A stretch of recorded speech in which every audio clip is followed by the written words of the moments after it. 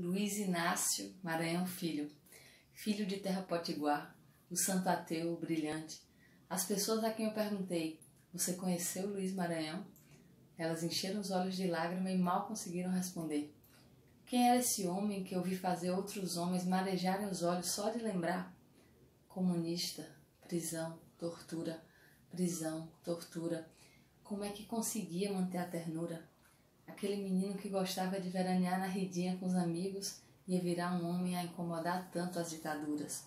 Desaparecido por defender as coisas mais belas. Cem anos de Luiz, 47 anos sem resposta. A pergunta que Dona Odete fazia que nós fazemos. Onde está Luiz Maranhão? Cadê o corpo de Luiz Inácio Maranhão Filho? Quando é que a sua família vai ter o direito que é dado até nas guerras de sepultá-lo?